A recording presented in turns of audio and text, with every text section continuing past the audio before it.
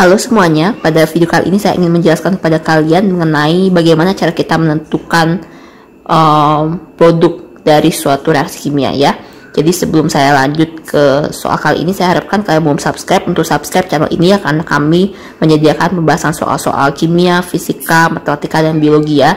Dan jangan lupa kalian nyalakan notificationnya biar kalian tidak ketinggalan dengan video terbaru kami.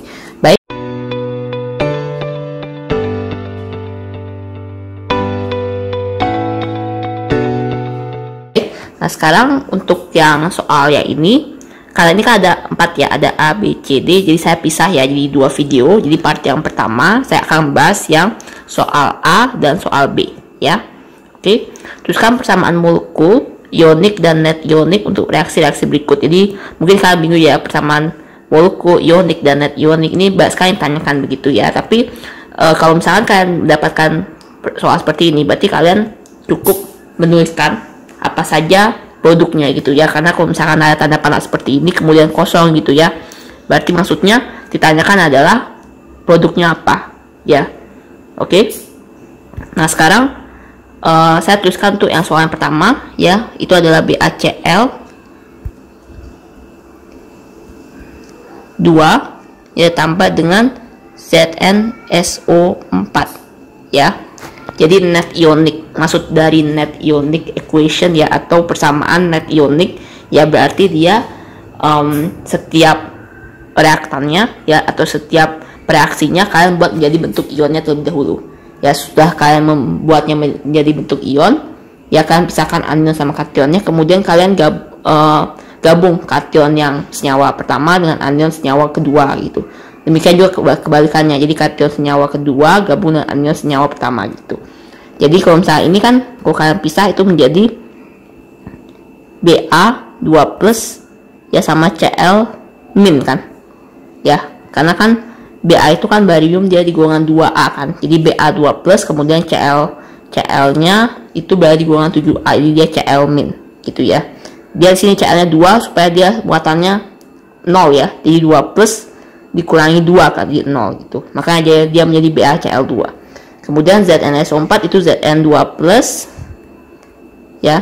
Kemudian SO4 itu adalah 2 min gitu ya. Jadi Ba2 plus kalian buat ini kan ada tanda panah ya. Kemudian ini ditambah ini tambah ini 2 Cl ya.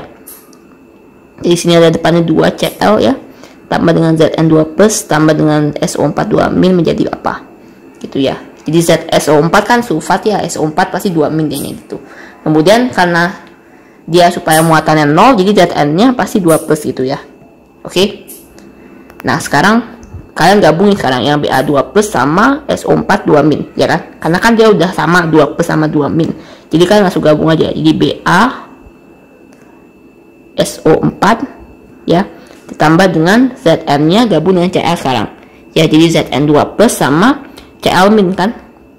Nah ini 2 Cl min berarti uh, supaya dia sama dengan 2 plus jadi dia sebanyak 2 ya Cl nya jadi Zn Cl2 seperti itu. Jadi hasilnya BaSO4 sama uh, Zn Cl2 nah sekarang yang B itu adalah HBr ditambah dengan NH3 ya oke. Okay? Nah sekarang kalian lihat ini HBr itu bisa membuat ini bentuk ionnya apa ya kan? Sedangkan NH3 kan kalian tidak tidak tahu kan bentuk ionnya apa. Jadi saya membuat NH3 itu menjadi NH4OH ya. Jadi HBr tambah dengan NH4OH.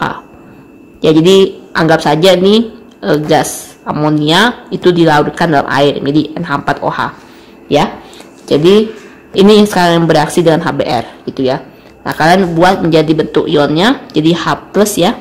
H tambah dengan Br min ya. Br kan golongan 7 ya. Jadi dia Br min ditambah dengan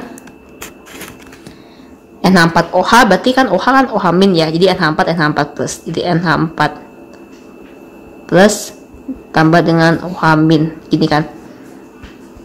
Oke. Nah, sekarang kalian gabungin kation yang HBr kationnya kan H plus itu N4OH anilnya OH min kan. Jadi H plus sama OH min gabung jadi H2O kan.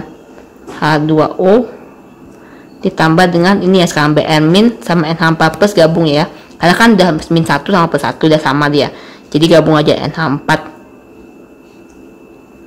BR seperti itu ya.